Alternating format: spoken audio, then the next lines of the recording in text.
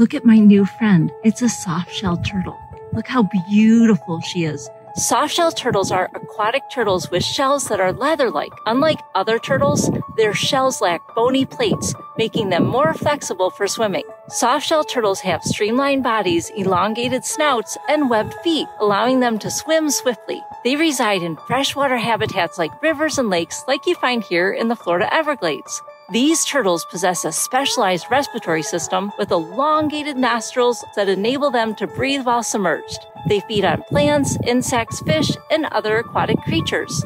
Softshell turtles are found worldwide with various species across continents. They reproduce by laying eggs near the water, and the young turtles hatch and enter their aquatic habitat. These turtles play important roles in ecosystems as predators and scavengers. Conservation efforts are underway to protect these unique reptiles from threats like habitat loss and pollution.